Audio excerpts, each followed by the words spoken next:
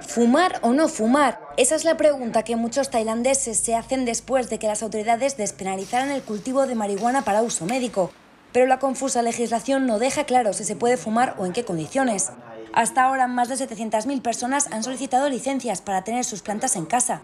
Esta despenalización parcial se enmarca dentro de la política para promover el uso médico del cannabis, que ya fue legalizado en 2018. No obstante, los productos derivados no pueden contener más del 0,2% del THC, el principio psicoactivo de la planta. Si estos superan el 0,2%, sí se consideran ilegales, y la ley marca que la despenalización se limita solo al uso médico, no al recreativo o al lúdico. Además, las autoridades indicaron que se puede fumar en casa, pero sin causar molestia pública.